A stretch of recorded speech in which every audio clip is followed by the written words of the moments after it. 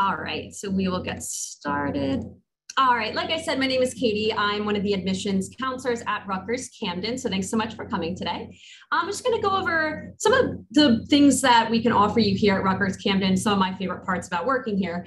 Um, we were founded in 1929, so we actually have been around for quite a long time. Um, we merged with the Rutgers State University of New Jersey in 1950 to become what is Rutgers University. Um, we have 5,000 undergraduate students. That is something I always like to highlight. We are the smallest and southernmost campus of um, the Rutgers system. So we are located in South Jersey. That small campus that we have um, is something that we're really proud of here at Rutgers Camden because we can really offer students that one-on-one -on -one attention within the classroom. I'll talk about that um, a little bit more in a little bit. So we have four schools here at Rutgers Camden. We have the College of Arts and Sciences, everything from psychology to our education degrees, um, our languages, religion, um, all of those majors are housed within College of Arts and Sciences. We have a four-year Bachelor's of Nursing program, and then we have a School of Business as well. Um, within the School of Business, we have some five-year Bachelor's and Master's programs, um, some business administration programs, and we also have an online business administration program as well. Uh, we have no undergraduate programs within our law school, but many of our students will major in like criminal justice or something and move on into our law school. It's pretty seamless transition. We are very, very proud of our faculty here at Rutgers Camden. So 99% of our faculty do have terminal degrees, um, meaning they do have the highest degrees in their field. Um, we do have a Pulitzer Prize winner on staff as well. Um, so that means that our professors are continuously out in the field doing research. So they're in the classroom and then they're also bringing everything they know out in the field to our students. Since we have such a small campus, we have a 15 to 1 student to faculty ratio. So our students are working directly with these professors and getting these networking opportunities from day one at Rutgers Camden. Um, a lot of our students will actually graduate having already been published um, or presenting at major conferences with right alongside these professors we have a very active campus life, and I'm so excited that we're you know back in action this year. Um, if you look at this picture here, these are our students looking into the city of Philadelphia. So we are about a five-minute train ride into Philadelphia. Um, so our students are very involved within that community, as well as the 100 plus student clubs and organizations that we offer at Rutgers Camden.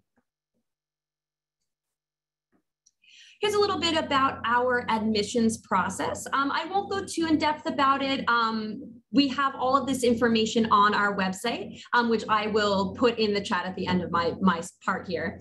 Um, but it's important to just look at our deadlines. We do have a deadline of November 1st. Um, this just guarantees that we can get you a decision by the end of January.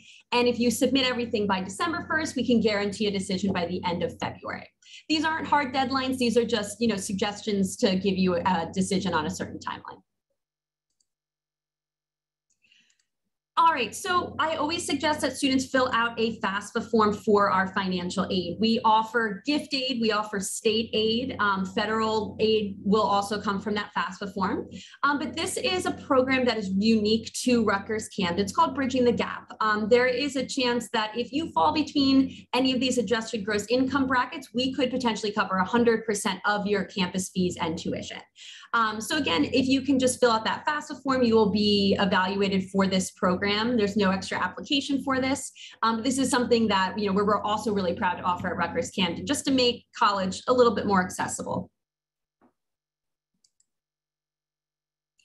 All right, a combination of the um, faculty that we have, the campus life, that small campus feeling, all the financial benefits we can offer you we have a 97% placement rate, meaning that 97% of our students are either fully employed or have moved on to a graduate program within six months of graduating from Rutgers Camden.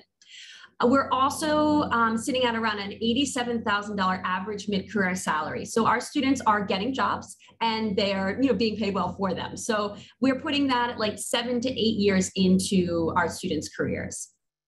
You're also entering a network of 500,000 alumni that are Rutgers University alumni. You're going to hear from New Brunswick in, in a little bit. We're really proud to be part of this whole Rutgers system because we really believe in this university and you're really entering that huge alumni network. Um, everyone has some kind of affiliation with Rutgers, uh, you know, some kind. So even just having that Rutgers name on your resume goes a very long way.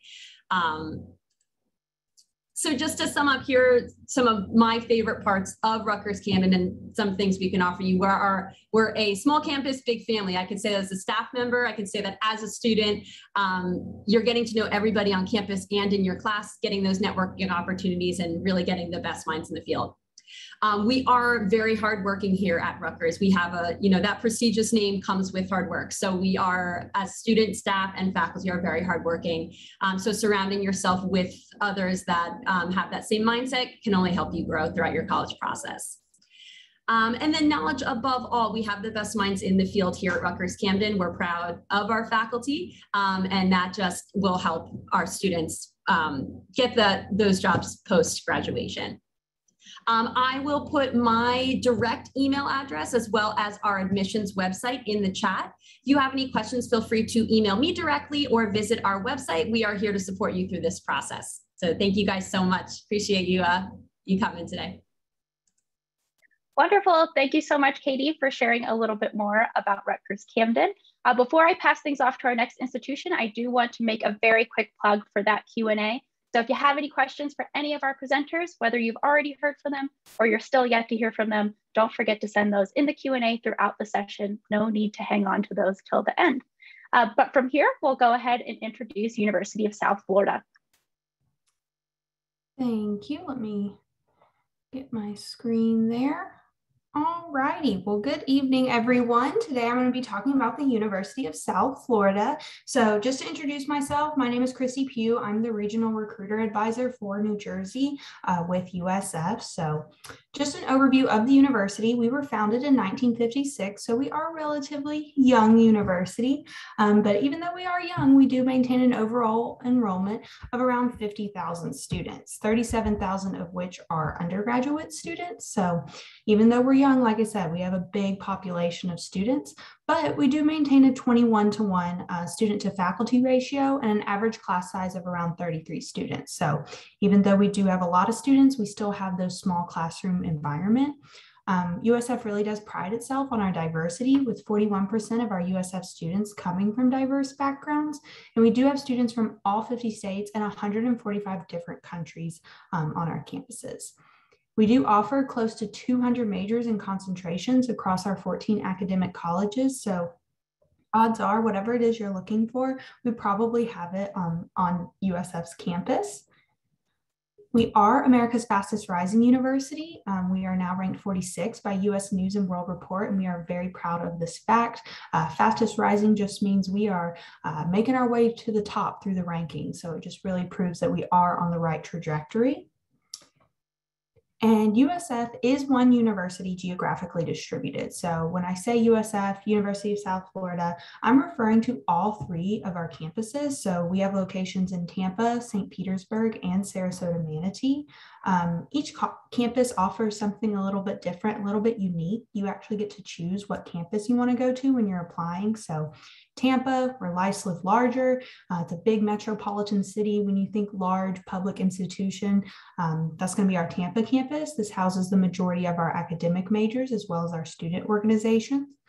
If you're looking for something a little bit smaller, um, you could try out our St. Petersburg campus where city meets sand. So St. Petersburg is a beautiful beach town. So if you like outdoor recreation, you're wanting a smaller uh, campus environment, this might be the campus for you or Sarasota Manatee. That is going to be the smallest of the three campuses. So they have a uh, 13 to 1 student to faculty ratio. So if you're looking for a very tight knit community, um, St. Sarasota Manatee might be the campus for you. It's kind of like a private school feel, but for a public school price. So that's really nice.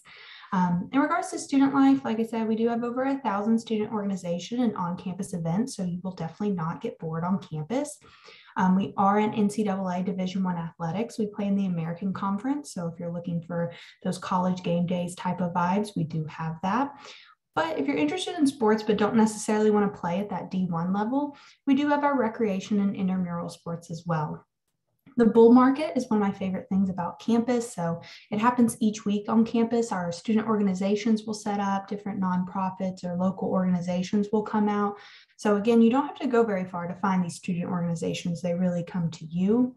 Um, we do have a Publix on campus. If you're not familiar, Publix is a very popular grocery food or grocery store in the South, especially in Florida. So it's very convenient that we have one on our campus for our students. And then week of welcome happens the first week of every semester. So it's kind of helps you to kickstart, um, you know, each semester and get you excited for what's to come. Kind of changing gears now so to some freshman admissions information. So you could apply uh, right now. Our application is open on the Common App, Coalition app, or USF admissions website. Doesn't matter which one you choose, just whatever is easiest for you. Our application is pretty straightforward. We just need a $30 application uh, application fee or a fee waiver, your high school transcript, and your official ACT or SAT test scores. That's it. Once you submit those three things, your application is complete. You're good to go. I've included our admitted freshman profile here to kind of show you um, what the average admitted student, what their GPA and what their test score was. So this is by no means the requirement for admissions, but just to give you a general idea, again, of what students who were accepted um, last fall and last summer, what their GPA and test score was. In regards to tuition and fees, so for an out-of-state student with you guys coming from New Jersey, your tuition and fees, you're looking at around $17,000 for the academic year. But when you include tuition, housing, books and supplies, and others, you're looking at around $35,000 for the academic year. Now, that is a lot of money, yes, but we have some of the lowest rate uh, tuition rates in the country um, and very competitive out of state rates. Um, our rates are often the same, if not lower, um, than a lot of the in state New Jersey schools are. Our non-Florida university. So definitely something to consider because this is going to be a reoccurring expense. But one of the ways in which you could offset that tuition cost is going to be through scholarships and waivers. And we do offer waivers for our out of state students. That's going to be under that uh, non Florida resident column. So these are merit based. So as long as you have the GPA and the test score, you automatically are going to get the scholarship. So long as you apply uh, before the deadline, which I'll get to. Um, but starts with our scholars waiver with a 3.5 and a 1210, and then it goes up with our director and presidential award. And these are a four year award amount. Kind of winding down now with our application deadlines. Um, the big deadline I want you guys to remember is to apply by December 1. Um, that's our priority application completion deadline. Um, if you don't make that December 1 deadline, you do have until January 15th to still be considered for scholarships. And then April 1st, that final application deadline. Um, and then May 1st, admissions deposit deadline. Let us know by that date if you're going to become a bull. But I know that was a lot of information. So if you have any other questions, here's my contact information. I'll put it in the chat as well, um, or you could put that in the Q&A box too. So thank you guys for listening and go Bulls. Wonderful. Thank you so much, Christy, for sharing a little bit more about the University of South Florida. Uh, next, we'll hear from Old Dominion University. Good evening, everyone. Let me just get this pulled up for you all. Great. So my name is Ashley Rose. I'm an admissions counselor here at ODU and I'm also an alumni. Um, you guys can see on the screen there is a QR code. So if you want ODU to send you more information about deadlines, events coming up, feel free to scan that, uh, fill out the information. It'll also be at the end of the presentation. Uh, but basically, if you don't know about ODU, we were founded in 1930 as a Norfolk division of William and Mary. And then in 1969, we gained university status. So we have nearly 100 years of history on our campus. Um, we are located, like I said, in Norfolk, Virginia. So that is the second largest uh, city in the state of Virginia, with Virginia Beach being the first. Um, we are only about 25 minutes from Virginia Beach oceanfront. However, campus is surrounded by two rivers. We're close to Chesapeake Bay. So if you're looking for a beach feel, then I definitely recommend ODU for you. Uh, we also like to say that we're, you know, in a metropolitan area. So the city of Norfolk is large but you get still that residential feel of uh, campus with it just being about 335 acres, essentially a giant rectangle where you can walk from one end of campus to the next in about 15 minutes. Uh, but I'll move on to the next slide. So our campus, we have about 24,000 students. That does include our undergraduate and graduate level students.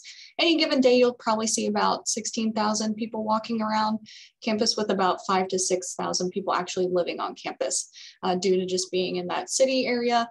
Uh, we do have a high commuter population. We do have eight different academic colleges, including an honors college and a brand new school of cybersecurity. And within those different academic colleges, we have 91 different degree programs for you to choose from. Uh, so those majors range anywhere from STEM, so science, technology, engineering, and math, all the way to liberal arts. So dance, theater, music, there's a little bit of something for everyone here at ODU. Our student to faculty ratio is 17 to 1. Uh, so I like to tell students that when you first come in, your class sizes might be a little bit larger, especially if you're taking those general education courses like English, biology, chemistry, things like that. Maybe 100 students in a lecture hall. Uh, but then once you get more into your major, your class sizes will be closer to that student to faculty, faculty ratio, probably about 20 to 25 students. And then the 35 that you see on the screen, that is the number of SCHEV Award winners that we have here um, on campus. So that is the highest award that faculty can earn in the state of Virginia, and we are second in the state. So here on campus, we have over 300 different clubs and organizations for our students to choose from. Those can range from community service, uh, anything to do with your major, honors, clubs uh, just for fun. So I like to tell students that we do have a pancake eating club where they literally just get together and eat pancakes. Uh, we have women in engineering, um, again, those honor societies. So pretty much anything you can choose from. Um, if you can't find something that you're interested in, it's super easy to start your own. You just need three other friends and a faculty signature. We do have 30 plus fraternities and sororities on campus as well. Those range from social to service to multicultural. 15 different housing options. Those will be either apartment style or suite style. So apartment style is going to be you and your roommate and the bathroom right within the room. And then suite style is kind of a Jack and Jack or Jill and Jill type situation uh, where you'll have you and your roommate, bathroom in the middle, and then your suite mates connecting that. So you, there are no communal bathrooms at ODU, which was kind of a big thing for me when I was looking at colleges. Um, then we have 17 different dining locations on campus as well. There's one All You Care to Eat a freestanding dining facility, two that are attached to our residence halls, and then several nationally recognized chains, uh, all scattered throughout campus and especially located in our student Webb Center. So there's Chick-fil-A, Pizza Hut, Panda Express, Starbucks, uh, Steak and Shake Qdoba. Um, yeah, there's a lot on campus, so you're definitely never gonna go hungry. Another point that I like to make on this slide is that we are NCAA Division One. Uh, we are in Conference USA, so we have varsity level sports, but also club and intramural as well. Uh, within those varsity level sports at the D1 level, we have 18 different sports teams. Uh, we did just build a brand new football stadium about two years ago. Uh, so we're super excited about that. Uh, because you know last year due to COVID we weren't able to have any fall sporting events, so football has kicked back up, and uh, you can definitely see it around campus. And then how to apply. So we submit, you can submit the application one of two ways, either on our website or through the Common App. So there is a $50 non-refundable application fee. Some deadlines to keep in mind, uh, December 1st is our early action. It is non-binding. December 1st is our, or excuse me, February 1st is our regular deci decision. Some required items for the application include your official high school transcript. Um, we are test optional and last year we completely waived the GPA requirement for that and we are continuing that this year. However, if you do uh, decide to take the SAT or the ACT, we will accept that as well. And I always encourage students to submit that just because it'll place you in a higher priority for merit-based scholarship. Um, so on average, we look for about a 3.3 GPA, a 1080 SAT, and a 21 ACT. And then some optional pieces that you can submit along with those required items in the application um, include up to three letters of recommendation, a personal essay, and an activities resume. So here in Virginia, we are one of the most affordable uh, state colleges and the most affordable doctoral uh, college in the state of Virginia. So on average, 80% of our freshmen who do apply for financial aid will receive assistance. Um, so as you can see for out of state, the numbers on the screen, this is based on if you take 15 credits per semester. So that is five classes per semester. Um, the numbers for on campus versus off campus. Um, again, filling out that FAFSA if you're looking for the financial aid that does open up this Friday, October 1st. And then another deadline to keep in mind is January 1st, which is our priority filing date. If you guys have any questions about ODU, I'll go ahead and put my information in the chat. Um, but thank you guys so much for being here. I hope you have a great rest of your day. Great, thank you so much for sharing a little bit more about Old Dominion. Uh, next up, we have the University of Tampa.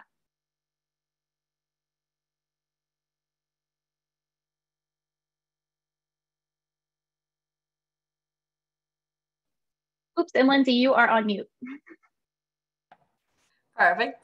Thank you. All right, let me just go ahead and share my presentation. All right. So hello everyone, I'm Lindsay Forrest, an admissions counselor for the University of Tampa. This is my email address that you can reach me at. I'll also at the end um, have my email posted on the last slide and I'll include my contact information in the chat. So here at the University of Tampa, we're a private, independent, liberal arts university. We're around a mid-sized university with just under 10,000 students. We have students from all 50 states and also students from over 130 different countries. So we have a very dynamic learning experience, we like to say, for our students here, and you can build relationships with people from all over the world. We are an NCAA Division II university. We do recruit all of our athletes. So if you're interested in playing a sport, please fill out the recruitment form on our UT website. But we do say that our university does have an urban environment with a campus feel. So what we mean by that is you are right in the heart of downtown Tampa. As you can see in the photo, there's our campus, and then we our campus is separated from downtown Tampa by a nice natural barrier of the Hillsborough River. So you have downtown that you can experience, enjoy, walk around in, while also being able to come back to your home base here on campus. So none of our buildings are scattered throughout the city. We are all one central campus that only takes about 10 minutes to walk end to end. So on our academics end of things, so we are a mid-sized university, around 10,000 students again, but we like to have that small school feel. So our average class size is around 22 students per classroom, and the faculty to student ratio is 1 to 17. I personally came here to UT. This was something I looked for coming from a small high school. This is what I really enjoyed was knowing that the class sizes are going to be similar, so it was much easier to adapt to these class sizes. Now, 90% of our faculty do have a PhD or terminal degree in their field, and also important to note that none of our classes are taught by any graduate assistants or teaching assistants. They're all taught by faculty members. With that, we have over 200 plus areas of study that our students are able to take part in, ranging from the sciences to the arts to business schools to criminology. You can really take part in any major you would like and reach out to your academic advisor once you're here at UT. If you're still on the fence, maybe coming in undecided, and they'll be able to help you to find what best works for you. We were also voted the number one best location, college location in Florida back in 2020. So hoping to receive that again in 2021. Now we are very big on experiential education here at UT. So we do like for our students to feel like they're getting a hand in either research, internships, or a study abroad program. With that being said, some great examples on this page. Up in the top corner, you can see our nursing students. So we have a mock hospital here on campus our nursing students are actually able to interact with these mannequins that are able to simulate real people, their symptoms they may have. They can bleed, they can cry, they say ow, they can tell you what's wrong, but they also can give birth. So it's pretty crazy the different things that these mannequins can do to help prepare our nursing students before they go into their clinicals in the hospital. Now, for our business side of things, we do have a great financial trading center down in that bottom right corner. In the financial trading center, it's a class for our finance students where the university actually provides those students with a sum of real money that they trade in the live stock market. For anyone interested in entrepreneurship, we do have a, a mock pitch room. It's supposed to emulate the pitch room in the show Shark Tank. So with that, our entrepreneurship students are able to go in, pitch their different ideas while they're in here. And then also we have a pitch contest that every student is eligible to participate in every year. Now, given that we are so close to the Tampa Bay, obviously we have a great marine science program, one of our most popular majors here. We have a marine science field station located about 10 minutes from the university with four research vessels. So you're able to go out on these boats with faculty and staff members, collect whatever you want to research, and then research it back in the labs at the field station or on campus. Lastly, for this side, we do have our Fab Labs and our whole Ferman Center for the Arts that was just recently completed. So in the Ferman Center for the Arts, we have these Fab Labs with state-of-the-art design technology, different dance studios, musical studios, as well as a black box theater for our film and media majors. And our tagline here is really love where you live and learn because we want our students not only to love the academic side of things, but also the campus life as a whole and the life in the Tampa Bay area. So as for campus life, we have over 300 different clubs and organizations here at UT. Around 20% of our students are involved in Greek life, while the majority of the rest of the students have a hand in some other organization, whether it be affiliated with their area of study or just a social club that they can join for fun. Our most popular are the Hammock Club, the Beach Club. We also have the Skydiving Club, which gets a little crazy, um, as well as different academic ones, such as Skull and Bones for those that are interested in pre-med. We have several different ones for different areas of study.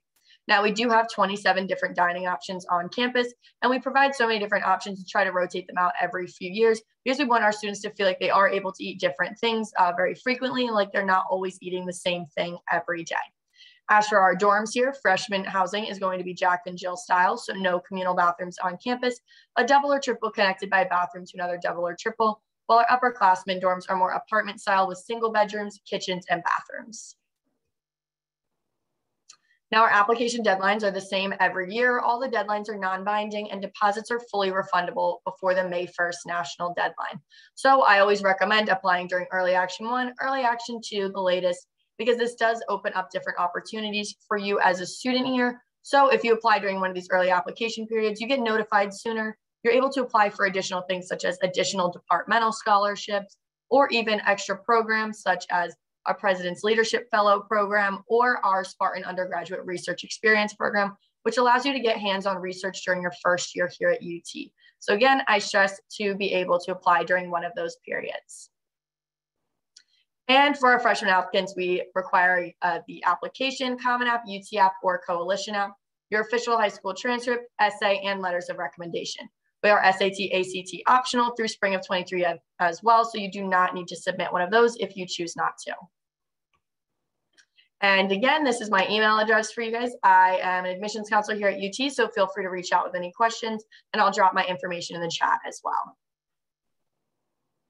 Thanks, Lindsay, for sharing a little bit more about the University of Tampa. Uh, before I pass things off to our next presenter, I do want to make a quick plug for that Q&A once again. So thank you to those of you who have already been sending questions into our college representatives. Uh, for those of you who have not yet, don't forget that you can send those at any point throughout the session through the Q&A. Um, from here, we'll go ahead and pass things off to the University of Cincinnati.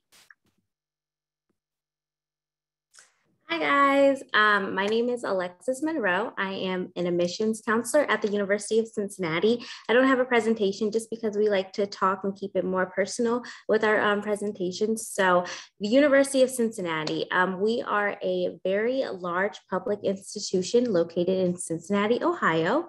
We have about 27,000 undergraduate students and um, most of them do live either on campus or in the surrounding area. So a lot of students, even though we have such a large amount of students, our campus, much like some of the other um, campuses who presented today, it is smaller, it is compact. So it was designed so that students could walk from one end of it to the other one without getting, you know, overwhelmed. So you can actually do that in about 15 minutes, depending on how fast of a walker you are. So um, the University of Cincinnati is located in the city of Cincinnati, which is a very up and coming city, but it's also very affordable, which our students, I think, really appreciate. Um, the university itself is located in Clifton. And like I said, a lot of our undergraduate students either live on campus or they live in the area. So it's created a very young and urban environment, um, much like a college student's oasis. That's what we kind of call it, just because there are so many things that have been built or added to the neighborhood to make it one where anything a college student would need is very walkable distance.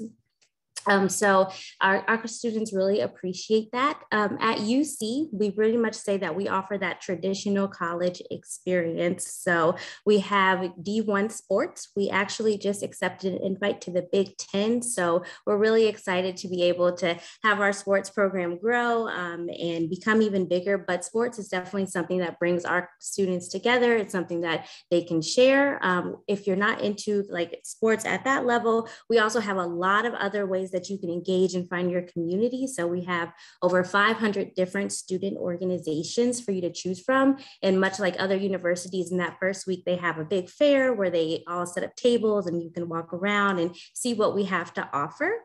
Um, we have 16 different residence halls that students can choose to live on, live in. None of them are only for freshmen. They're all just first come, first serve. They're all different. And then we have five different dining halls and they're all all you can eat. And they're kind of designed where None, no dining hall is going to be serving the same thing every day. They kind of rotate. So it's nice, a lot of variety. In addition to the dining halls, we do have like restaurants on campus like if you're not feeling the dining food you can have you know chick-fil-a or Qdoba or whatever you're really feeling instead so in addition to that, after you've eaten on the all you can eat plan, we have a one very highly ranked rec center. Our students love it, faculty and staff love it too. Um, some of the highlights of it is that it has a lazy river and a rock climbing wall. Like in addition to like the regular stuff that you would see at a rec center, it has all these fun things that our students like to do as well. Um, so that's kind of like what UC is. Our big thing that we like to talk to students about, though, is our Bearcat Promise. So basically, we pretty much emphasize that our students are going to graduate with a degree in one hand and then a career plan in the other. So we have over 350 different academic programs for our students to choose from at the Uptown campus. Um, and so that is really big because our students, they have a lot of variety. You can start experiential, but you can also start directly in any of the programs. Um, some of our more known, or not more known, but our more notable programs are our College of Design, our College of Engineering, our College of Medicine, and then our College Conservatory of Music. So those programs tend to bring students um, from all over the country and then also um, outside of the country as well. So you can get that degree, but then we also, like I said, want you to have a career plan. So all of our students at the University of Cincinnati are actually required to do experiential learning. You have to have at least one experience. And that can be a whole host of things. It can be internships, it could be um, study abroad, it can be co-ops too. Um, Co-oping is big for us because we actually created cooperative education at the University of Cincinnati. So over 100 years ago, we created it. But since then, we've worked to make our program really strong. It's something that definitely attracts a lot of students to UC because you know they want to come where and do co-op where co-op was founded. So that is a big thing for us. Um, another reason that we do have a lot of students come to us is because you can get that education, you can get that experience, that resume that's going to help you get the job, but you can do so at an affordable rate. So our out-of-state tuition rates are about 27,000, which um, is a pretty good rate for our students. And then we also do have a tiered scholarship program here at the University of Cincinnati. So there are scholarship opportunities all the way from full rides that include um, tuition and housing and everything. And then they kind of tier down after that down to about like $1,000 scholarships on that last tier. So lots of scholarship opportunities for our students. Um, in terms of how do you come to UC, you know, what do you need to do? We are a Common App school. So you're going to apply through the Common App. Um, for us, for fall 2022, test scores are optional for many programs. Um, letters of recommendation are optional, and we actually are accepting unofficial transcripts as well, just to make the process as seamless as possible. Um, all of our application like our application, all of the materials, they need to be in by December 1st in order to be considered for some of our more competitive programs. Um, so make sure you get those in. And that is everything about University of Cincinnati.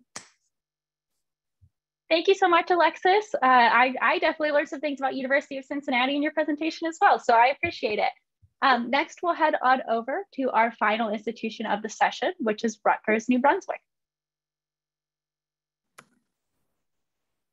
Hi, everyone. My name is Alicia Shah. I'm just going to go ahead and share my screen and get started. Can everyone see that? Looks good. All right, great. Um, so my name is Alicia Shah. I'm an admissions uh, officer on the recruitment and outreach team. Um, I've been with I've been with the university for about five and a half years. Um, I graduated from here as well. I'm proud Scarlet, Scarlet Knight alum. I love my time here so much. I knew I wanted to come back here and work. I was an academic advisor at School of Engineering um, for almost four years, and then I came over to admissions. So Rutgers, New Brunswick is the main campus uh, at Rutgers. We do have several accolades, including being one of the top 1% universities worldwide. We have over 25 programs ranked nationally, top 25 nationally, number 23 public school in the nation, and we are the most diverse school in the Big Ten Conference. Welcome to the Big Ten, University of Cincinnati. Um, we have over 175 research centers and institutes. Um, students as early um, as their first year can get involved in research opportunities. Um, you know, there are a whole host of ways for students to get uh, paid and unpaid exposure to the research process. And we do have over 750 student clubs and organizations. For some reason, if you can't find something that interests you, um, you are able to create your own uh, club and organization. So New Brunswick is nicknamed the hub city because it is connected to a lot of other larger cities by plane, train, and automobile. We do have um, NJ Transit right on campus. You don't have to drive anywhere to get to the train. You can just walk right to the train station, and it is part of the Northeast Corridor. You'll be in New York City in 45 minutes and Philadelphia in about 90 minutes. Um, we're also about three hours from Baltimore, four hours from DC, and five hours from Boston. I always like to point that out because we know that students like to go visit their friends at other universities or different family members. Um, so you are pretty accessible to, to these larger cities as well. Um, we're also about a half an hour from the Newark airport and you can access the airport uh, through NJ Transit. Uh, we're right next to the New Jersey Turnpike as well. So we're very easily accessible. Um, students will pursue internships in New York City during the fall and spring semesters because we are pretty close by. Um, there are also a lot of opportunities for students to get um, internships and co-ops right in New Brunswick. Johnson & Johnson is housed in New Brunswick, as well as Colgate Palmolive is close by. Bristol Myers Squibb and L'Oreal are also close by. so this is a great way to visualize how the New Brunswick campus is set up. Um, it's actually spread out over two cities. So Busch and Livingston are in Piscataway. And then from College Avenue down, um, is located in New Brunswick. On Busch is where you're going to find School of Engineering, the Rutgers Football Stadium, um, an 18 hole golf course, and the Ernest Mario School of Pharmacy. Livingston is where you're going to find Rutgers Business School and the RAC, which is where the basketball team, gymnastics teams, and wrestling teams compete. Um, and you're going to get more of like a suburban type feel on these campuses. College Avenue, you're going to get a city type feel. Um, for this campus, and this is where School of Arts and Sciences is housed. Then you're gonna see the Rutgers train station in downtown New Brunswick, which is also where Edward um, J. Bloustein School of Planning and Public Policy and the School of Nursing are located. And we also have two um, is affiliated with Rutgers, uh, which is where a lot of students will do uh, their clinical rotations. Uh, Douglass was our women's only campus, but they did open it up to where men could stay there after I had graduated. Uh, but they do have um, a lot of women's leadership focused events still, which is great. And Cook is more of like our agricultural type campus. We do actually have a farm, so that's where a lot of animal science majors um, will enroll into. We also have a lot of STEM majors um, on Cook campus, including uh, food science, nutrition, and biochemistry. So this is a great way to understand how uh, the, the New Brunswick campus is laid out. Um, even though we have about 38,000 undergraduate students, it doesn't feel like there's 38,000 undergraduate students on campus at all time um, because it's so spread out um, and across two cities. And students are able to access all of these campuses through the Rutgers bus. Um, this, the, bus is included in your student fees you pay that once and then you're riding the bus for the for uh, the academic year. Uh, there's no fee anytime you get on the bus and when your friends and family come to visit, there's no fee for them either. So it's great. so for student life, as I mentioned, we have over 37,000 undergraduate students. We are the most diverse school in the Big Ten. Um, about a fifth of our students do come from out of state and around the world, which is great. Um, and 27% of our students are first generation, meaning they're the first in their family to go to college. And about 23% of students are an underrepresented minority. Um, we have 24 NCAA Division One sports. Uh, so we are very active uh, in our athletics. I don't know if anyone's watching or following football, but it was really nice to win three games in a row and we put up a good fight against Michigan. So we'll see what happens this weekend. Uh, we have over 80 fraternities and sororities and a lot of ways to get involved on a philanthropic level. The picture in the middle is from Rutgers University Dance Marathon, where they've raised over $9 million for kids with cancer and blood disorders. So there's always something to do on campus, um, aside from, you know, getting a lay of the land while you're a first year student and navigating your schedule. I think your biggest um, thing to get adjusted to is figuring out how many events you can fit in in one day and one weekend. Um, so for first year schools, these are the schools you're going to apply to when you submit your application. These are the schools in red. Um, you can apply to up to three schools and you're gonna get three different admissions decisions. So keep that in mind. Some popular majors are biology, business, the six-year farm PharmD program, the direct entry nursing program, animal science, the seven-year Bachelor's of Science DPT program, theater arts, and our five years bachelor's, bachelor's master's education program. Um, we do have a 93% first year retention rates of students who are enrolling at Rutgers want to stay and finish out their degree. We have uh, career fairs every semester, which are great for the students to participate in. Our application due dates are always the same, November 1st for early action and it's non-binding, December 1st for regular decision. Um, and we are not, um, we're not on Common App. So you would apply through uh, Rutgers website or coalition application and the university is test optional again. So you would submit your self-reported academic record after you apply.